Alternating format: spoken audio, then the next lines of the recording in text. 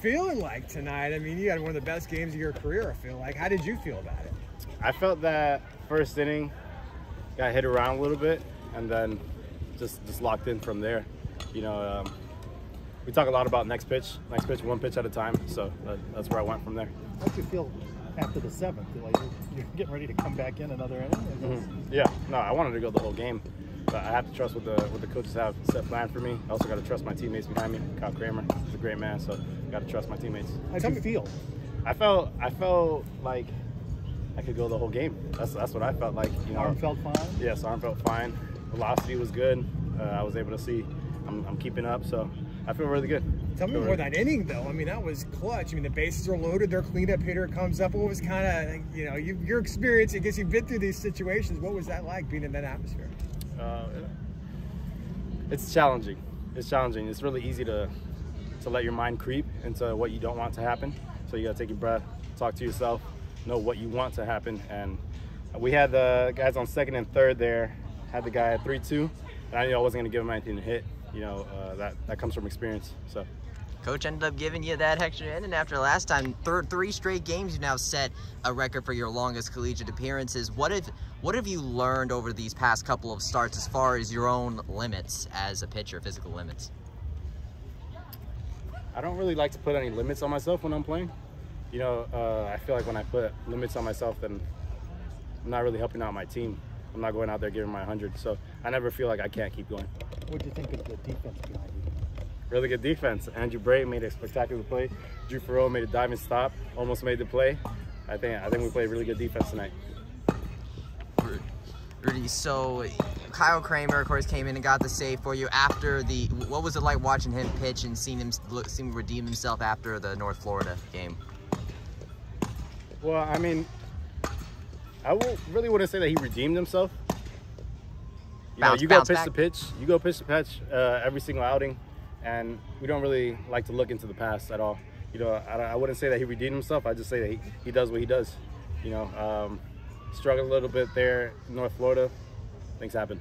Doesn't matter. What Coach Lafayette mentioned, uh, even when there is defensive blunders behind you, it kind of gives you like that little extra edge to pitch better because if you're always blaming your defense, how does that affect you in going on the mound knowing that, hey, maybe my defense can fail me, but you know what?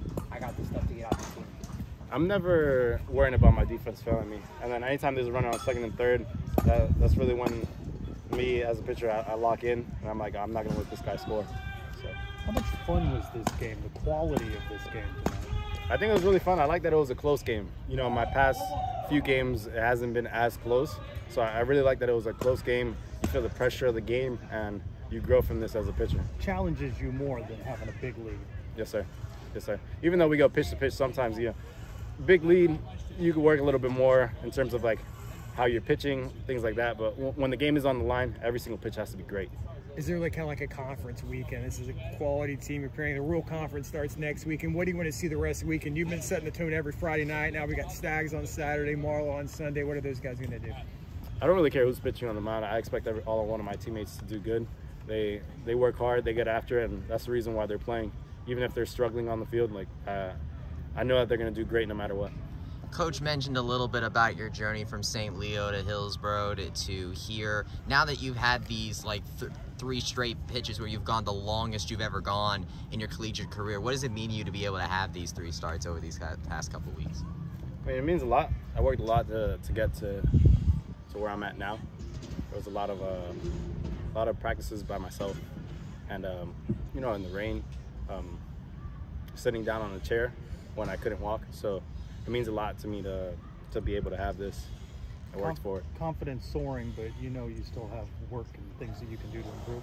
I mean, I always had, I've always had confidence in myself. It's never never been a doubt that I can go out there and compete with the best. I mean, how excited are you to be at this point after going everything you've been through? I mean, this is what you dreamed of getting back to this point. I don't know if there were doubts at any point in time, but I mean, you got to be. This is, must be a huge rush for you to be in this position. I mean, I wouldn't say that uh, it's something that I didn't expect to happen. I remember laying on my bed when I couldn't uh, couldn't bend my knee and just watching these guys in the tournament at the time and uh, knowing that I would be here in this spot and doing well for my team. After how hard you've worked, makes you mentally tougher? Yes, sir. Yeah, yeah, it does make me mentally tougher. There's there's a lot of things I can get through, so when I'm faced with challenges, I just I don't really see them as challenges. Something else I can get through. Great. Well, Thank you, Ruddy. thanks, Ruddy. Thank you. Thank you. Congratulations, man. You guys have a good night. Appreciate it.